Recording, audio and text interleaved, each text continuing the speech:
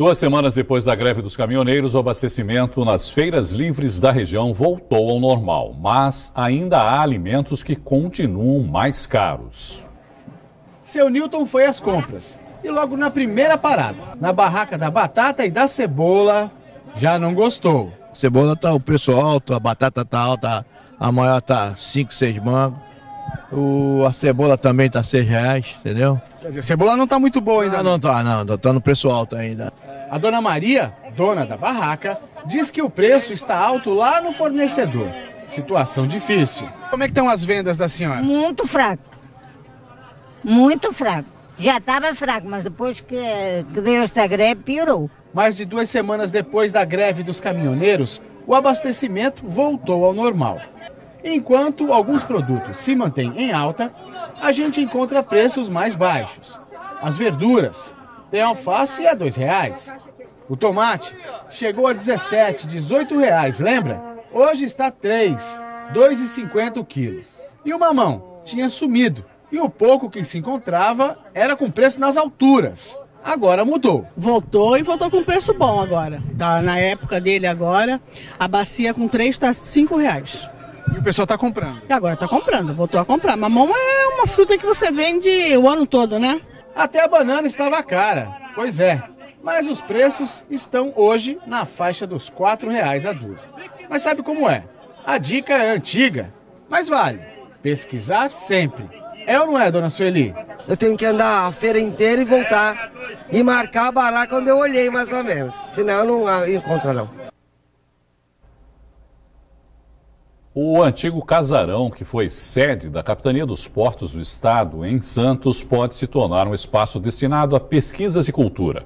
A restauração do imóvel vai ser feita graças a um protocolo assinado hoje entre a Unisanta e a Marinha.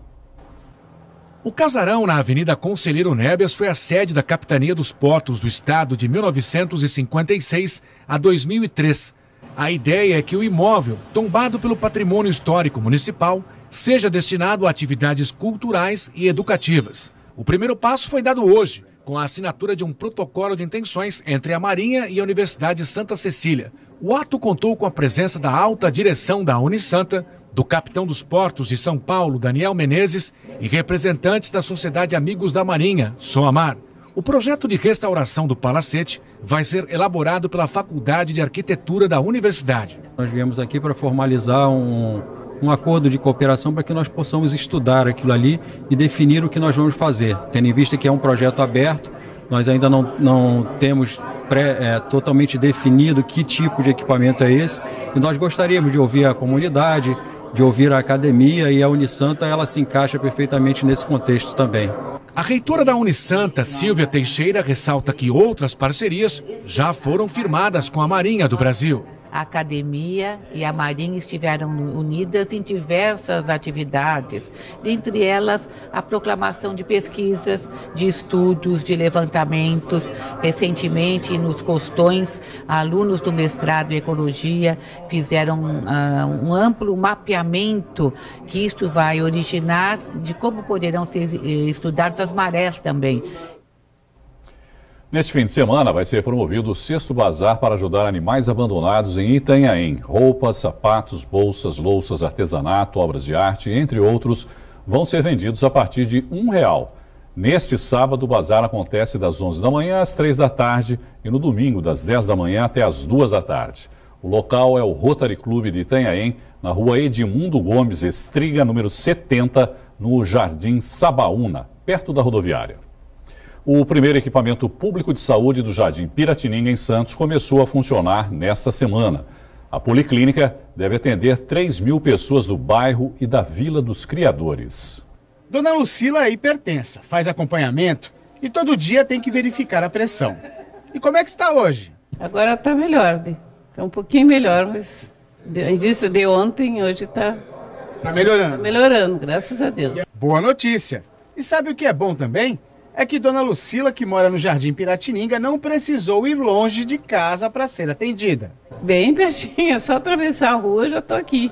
A Policlínica do Jardim Piratininga é uma unidade de saúde nova e está equipada para realizar mais de 400 consultas por mês, atendimento odontológico, e quase 1.500 procedimentos também por mês, como curativos, aferição de pressão arterial e outros. A policlínica vai atender não só os moradores aqui do Jardim Piratininga, mas também o pessoal da Vila dos Criadores. Ao todo, são quase 3 mil pessoas. O chefe do Departamento de Atenção Básica explica que a unidade de saúde vai proporcionar melhor qualidade de vida aos moradores da região.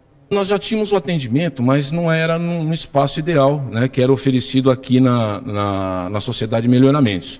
Então, com essa a inauguração da unidade, a gente entende que a procura vai acabar sendo maior também. A Policlínica fica bem na Praça João de Moraes Chaves e funciona das 7 da manhã às 5 da tarde. Para dona Ana, que mora no bairro, uma facilidade. Para chegar aqui, quanto tempo a senhora leva? Cinco minutinhos, dois minutinhos. Não tem mais desculpa para fugir do médico? Não tem, não tem. E aqui o atendimento é maravilhoso, todo mundo. O Ministério da Saúde quer aumentar a cobertura de vacinação contra a paralisia infantil. No Brasil, em um minuto, você confere esse e outros assuntos. A vacinação contra a poliomielite deve acontecer de 6 a 24 de agosto. A cobertura atualmente é de 77%, mas por causa dos casos da doença registrados na Venezuela, o Ministério da Saúde emitiu um alerta para os estados e municípios sobre a importância de alcançar e manter a cobertura de imunização maior ou igual a 95%. O Conselho Administrativo de Defesa Econômica e a Agência Nacional de Petróleo criaram um grupo para estudar o mercado de combustíveis no país. O objetivo é aumentar a concorrência no setor e diminuir os preços para o consumidor.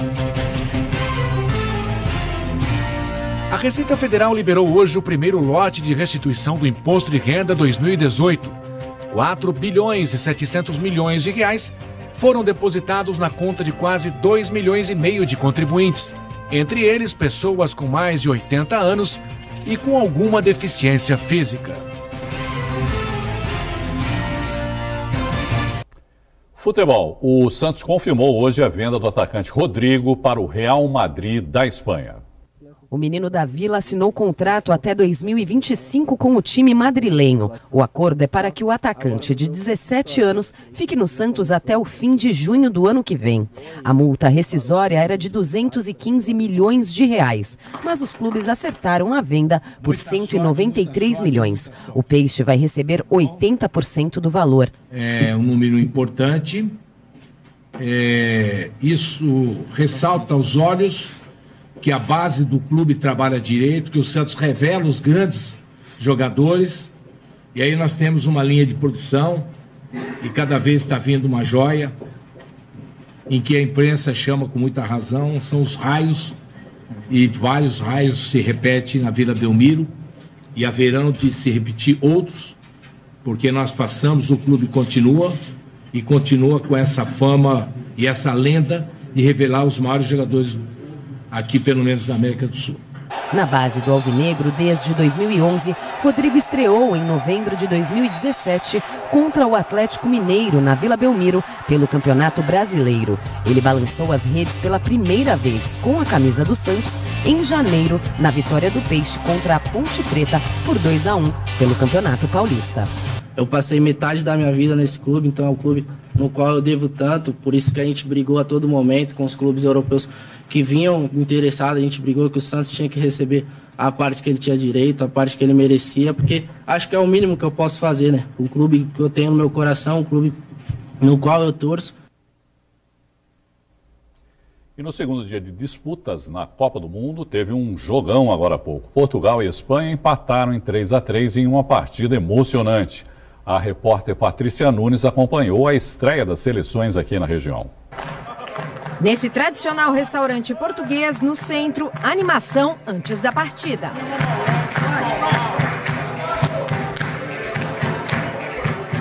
A castanhola que dava o tom não era espanhola.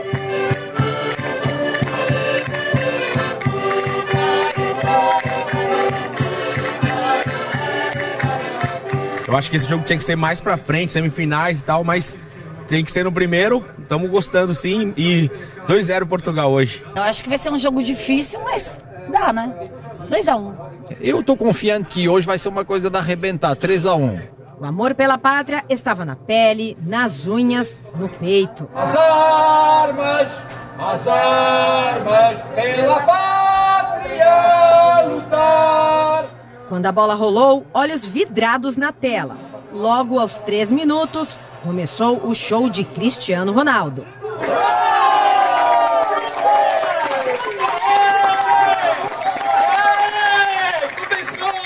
Aos 23 minutos, a Espanha empata com Diego Costa. Apreensão entre os portugueses. Mas quem tem Cristiano Ronaldo no time, dá até vontade de correr para abraçar. 2 a 1.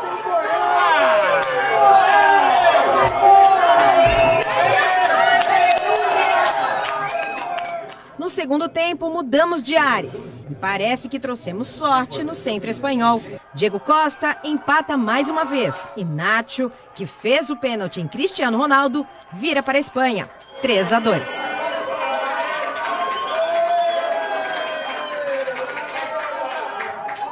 A Espanha tocava a bola e administrava o resultado até que o melhor jogador do mundo resolveu provar mais uma vez porque já ganhou a bola de ouro cinco vezes. Silêncio no centro espanhol, mas no final, para a torcida, o resultado não foi ruim.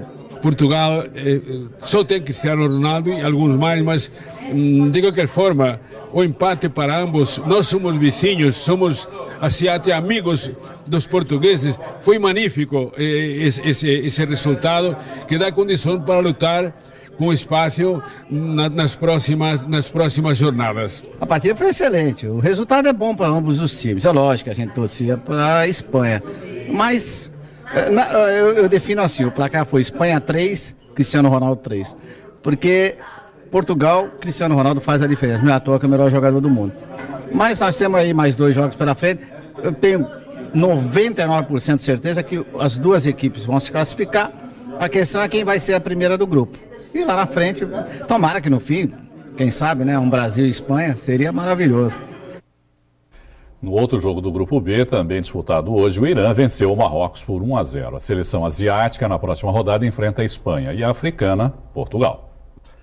A mostra Caminhos Percorridos é a atração neste mês na Associação dos Cirurgiões Dentistas da Baixada Santista.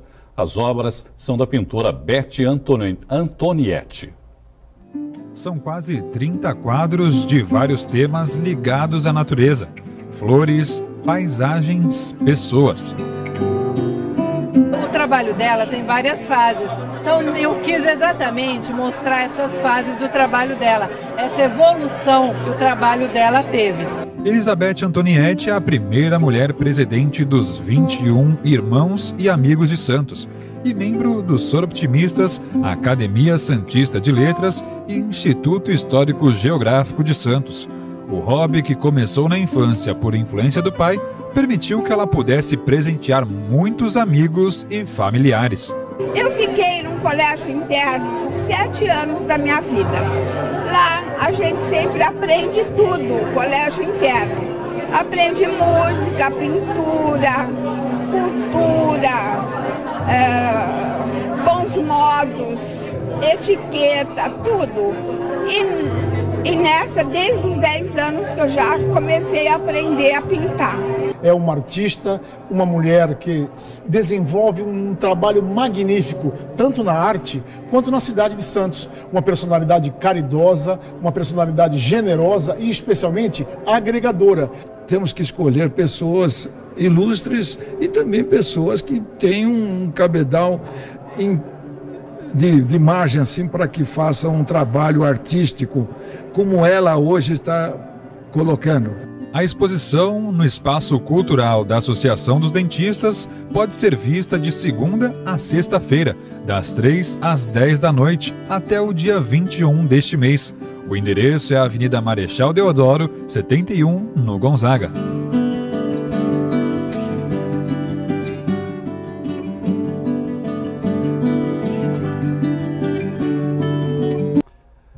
A edição de hoje termina aqui. No Santa Portal você encontra mais notícias de Santos e região. Uma boa noite para você, um bom final de semana e até segunda-feira.